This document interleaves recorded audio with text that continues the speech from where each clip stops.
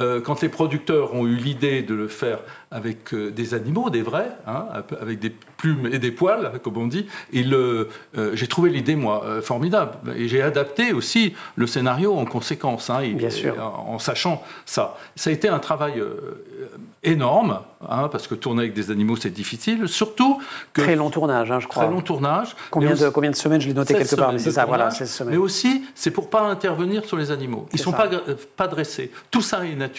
Tout ça est pensé, travaillé avec euh, euh, des animalières. Euh, la chance que j'ai eue, c'est que j'ai tourné dans un parc, il y avait tous ces animaux, et la forêt, l'étang qu'il y a dans le film, c'est les terrains de jeu des animaux. Alors vous vous rendez compte Où il n'y a pas trop à, aller forcer d'aller se baigner, de traverser, de plonger, pas l'autre. vous voyez, c'était.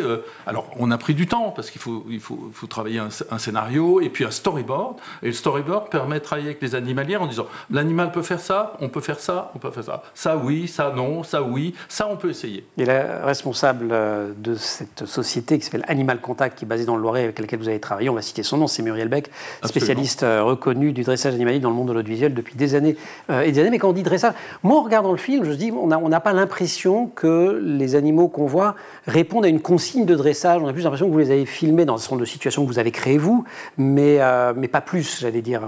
Non, c'est fait. Moi, j'y tenais. Hein, et les producteurs ont, tout fait. Euh, pour ça, mais c'est pour ça que j'ai 16 semaines de tournage. C'est pour laisser tout le temps, quelquefois on attendait deux heures que l'animal soit tranquille, a envie de faire, de parcourir ce chemin. Euh, alors il y a des petites récompenses. Il y avait des petits trucs quand même. Il y a des petites récompenses, des gourmandises. Comme moi j'ai une petite chienne, et eh ben j'ai des gourmandises. Hein, il y a la récompense, mais ce n'est pas du dressage. Et je pense que ça sent dans le film que les animaux sont heureux.